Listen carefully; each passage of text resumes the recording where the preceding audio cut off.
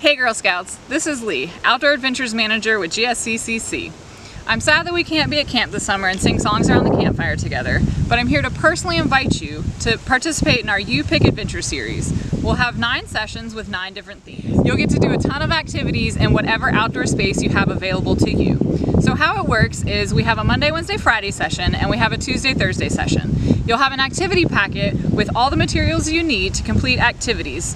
Most of the activities will take place outdoors, but you might build something and then take it outdoors.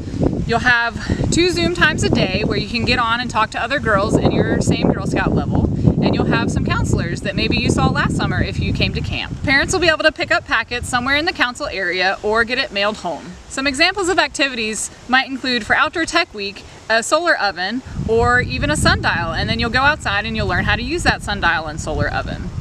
No matter which theme you pick, I'm confident you'll have a great outdoor experience this summer. I hope to see you online during our U-Pick Adventure series.